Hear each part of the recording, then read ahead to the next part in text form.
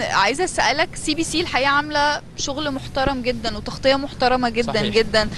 والحقيقة إن أنا في بعض الأحيان بشوفكم كلكم في ويندوهات في نفس اللحظة بتغطوا الفعاليات من أماكن مختلفة. لأنه خليني أقول إنه في مدينة العلمين أو في المهرجان في نسخته الثانية هو وارد جدا وطبيعي جدا إن في يبقى في أكتر من فعالية في نفس الوقت. صحيح. والحقيقة إن أنتوا شغالين ده آه، بشكل احترافي جدا جدا على شاشة CBC كلمني برضو عن الشغل في مدينة العلمين والمهرجان في نسخته الثانية بتنظموه إزاي مع بعض؟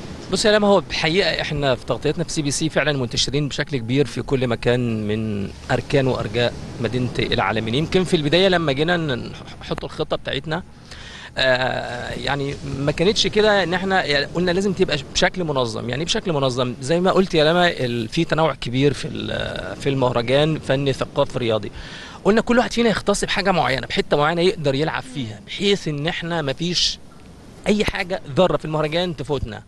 فأنا كنت مثلا مختص بشان ال- الثقافي والفعاليات الثقافية والحقيقة يعني دي مناسبة إن أنا أقول إن وزارة الثقافة بتتكلم عن أكتر من 150 فعالية يلما في كل مكان سواء في الممشى السياحي المدينة التراثية المنطقة الترفيهية.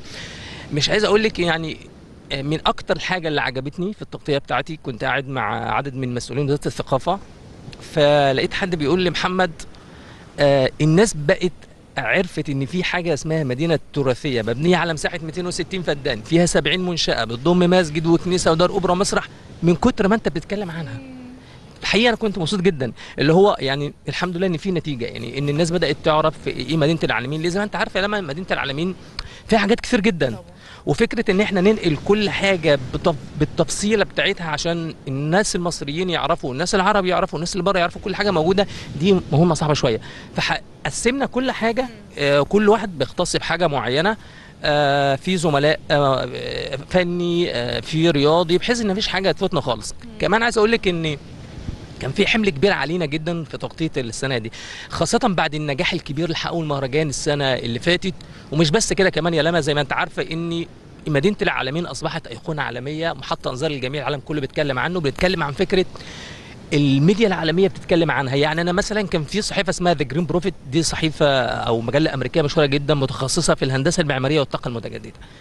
بتتكلم عن فكرة إن إزاي مد- مدينة العلمين قدرت تعمل مزيج ما بين إنها تكون مدينة سياحية ومدينة سكنية في نفس الوقت.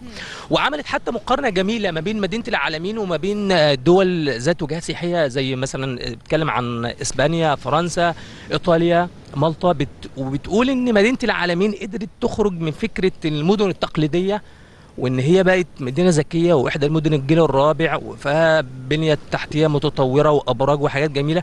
فكل ده عمل لنا مثل لنا ضغط كبير إن إحنا لا لازم نجتهد بشكل أوسع عشان نقدر ننقل الصورة الصح. صحيح.